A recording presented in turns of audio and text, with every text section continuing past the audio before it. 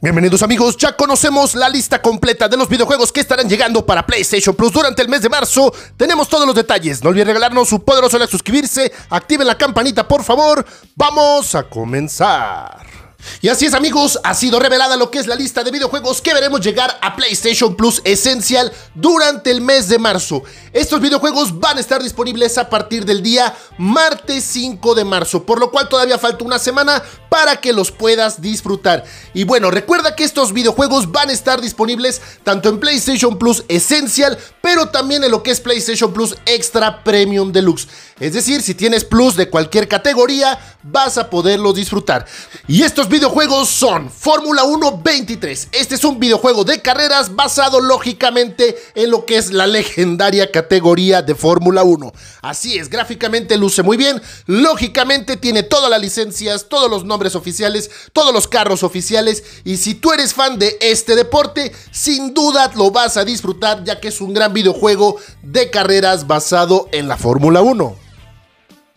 Y también amigos, como yo se los adelanté desde el día de ayer, se confirma la llegada en juegos de PlayStation Plus del videojuego Sifu. Este título, como bien se los comenté, es un videojuego de lucha roguelike. Es decir, tú vas por un escenario, vas derrotando enemigos, pero cuando te eliminan, el personaje va aumentando su edad. Lógicamente, cuando llega a cierta edad, el personaje, pues sí, es eliminado. Es un videojuego muy difícil, pero muy bien catalogado por la crítica y sin duda si tienes el servicio contratado, vale mucho la pena disfrutar de este videojuego. Y otro videojuego que más que nada es como un DLC es lo que es Destiny 2, lo que es The Witch Queen. Así es, este videojuego de hecho me parece que ya lo habían regalado. No sé por qué está en esta lista, pero bueno, es en esencia un shooter en primera persona espacial que luce gráficamente bastante bien y se disfruta sobre todo con amigos. Vale mucho la pena que lo, que lo pruebes así, pero de lo contrario, la verdad es que, mm, no sé, como les digo, no entiendo por qué apareció en la lista de PlayStation Plus. El siguiente videojuego es Hello Neighbor 2, el cual es, pues sí, un título en primera persona de resolución de puzzles. No es un título demasiado conocido, destacado, pero ahí está. El resto de videojuegos, aquí ustedes los pueden ver, toda la lista completa. Mes de marzo de PlayStation Plus, nada, pero nada mal. Ustedes pueden ver qué versiones son las que estarán disponibles. Y amigos, ¿qué les pareció la lista de videojuegos que llegan a Plus durante el mes de marzo?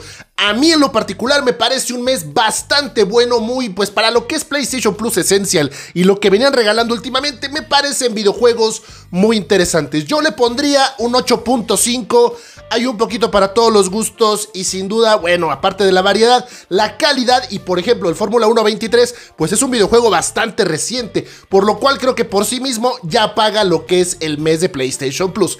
Los leo en los comentarios cuál es su opinión, cuál van a disfrutar o si de plano no les gustó, pues díganme por qué. No olviden regalarnos su poderoso like, suscribirse y nos vemos en el siguiente video. Bye.